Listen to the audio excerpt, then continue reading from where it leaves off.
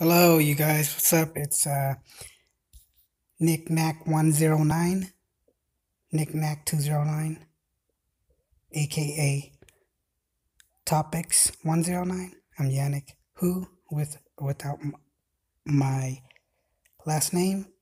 That's three letters. All right, you guys. Um, check this out. Uh, you know what I mean? Social Security and um, DMV is a flaw fraud. Okay. First, they have expiration date for DMV, and then they have you use ten uses of Social Security. What the fuck is that? I mean, the numbers are correct, but the biography is wrong. See, so just go with the US CIS. That's what I want you to use. You know. So I'm. They keep taking my money, making me poor and hungry, or us poor and hungry. I'm gonna keep posting this duh ugly toothless face of mine.